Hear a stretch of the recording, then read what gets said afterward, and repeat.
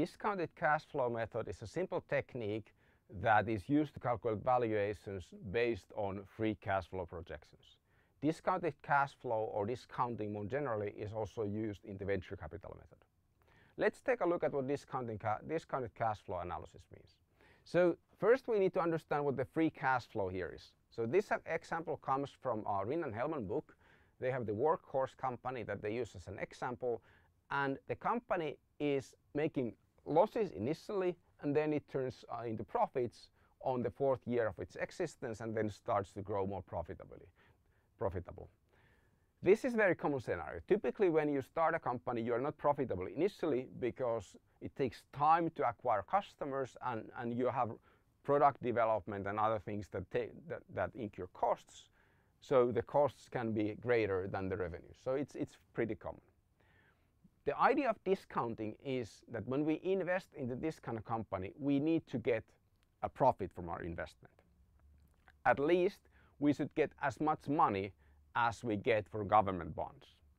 Nowadays, government bonds don't really produce any profits, but quite commonly in older textbooks, the risk-free return rate which you would get from government bonds is set to be somewhere between 3 and 5%. So if we get 5% per year from government bonds that are risk-free, then we should get more revenue, more money from from this uh, this company that is more risky than the government bonds. So that's the idea. We need to take the risk into account. If we would not, so the money in the future is actually less than the money now, because if we buy a share of company now, and we don't take into consideration that we could have invested our money elsewhere, and gotten the 5% risk-free return, then the next year we could have actually made the same investment and we would have gotten 5% more of the company.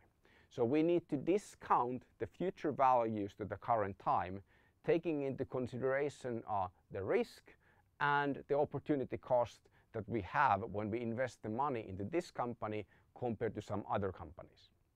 So we calculate the cash flow projection somehow and then we calculate the discount factor. Here the discount rate is uh, assumed to be 15%. So um, let's assume that there's 5% risk-free rate and 10% premium for risk.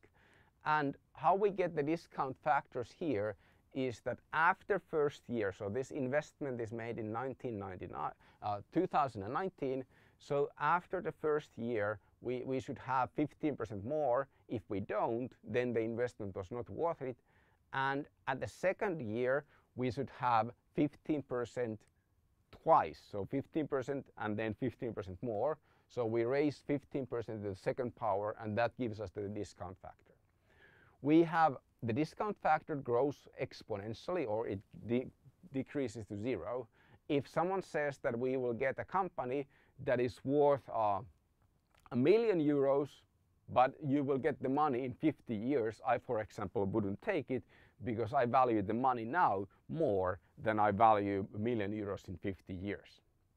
So we, we value the future money less and less because there's risk involved and also we could be doing something other something else with the money than just sitting it on the bank account of this company. Then finally we have terminal value. The idea of cash flow projections is that we don't do that eh, for, for uh, the full future. So we could go endlessly using this kind of discounting cash flow. But at some point the projections become really uncertain. And if you're projecting more than five years from now, then calculating those projections will be difficult as well. So we assume that there is some kind of profitability at the end and some kind of growth rate and we use the profitability and growth rate to calculate this terminal value. So the idea of, of this uh, cash flow here is that this is the value that the company has produced us during the first five or six years. And the terminal value is the value that the company will produce us from the sixth year on. And how the terminal value is calculated, we basically use that kind of formula. Understanding what that formula where it's derived is not important, but it's basically a, a formula for discounting from here to, to year infinity. So you discount until infinity, and that's, that's the thing that you get when you derive it.